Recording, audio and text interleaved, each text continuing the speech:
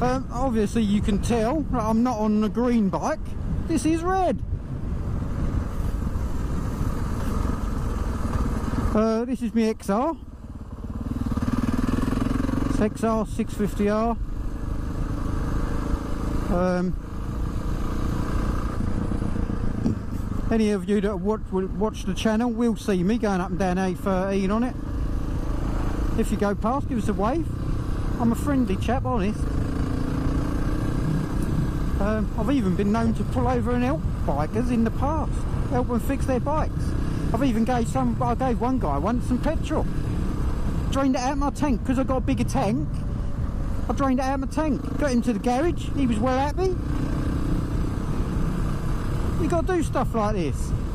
If you go past a biker and you see him before, you know, as long as you ain't going 100 million miles an hour, give him a thumbs up or thumbs down.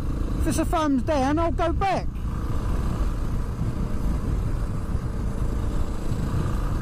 You know, you've got to help each other out. I know there's some of you out there that probably think, ah, can't be bothered. I want to get home. And just remember, one day that might be you. It's alright if I'm coming past. I'll probably stop and help you. On this, the XR, I've got a set of tools in the back. Not a great deal of tools, it's an enduro bike, so I've got a small set of tools.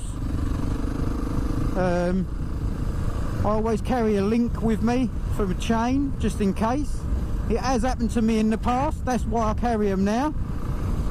Um, so if you've broke your chain and I can help you out, I can always slip, put a sticker link on it for you, get you going again. You never know. Um, silly little things you could do. I haven't got any ties or I've got zip ties.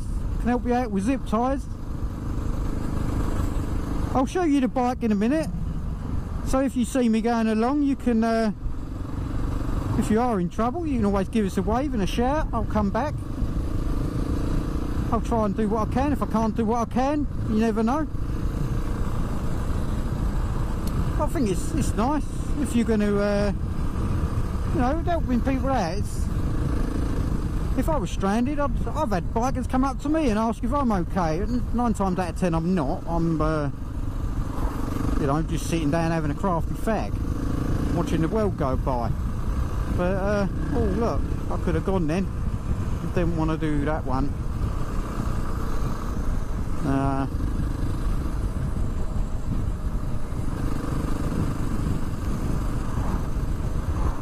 anyway, if you if you if you're in trouble anytime and you see me go past, I'll show you the bike. You can see most of it now. Uh, I'll, I'll pull over and quite happily help anybody. Damsels in distress, or men. I don't care. Bikers.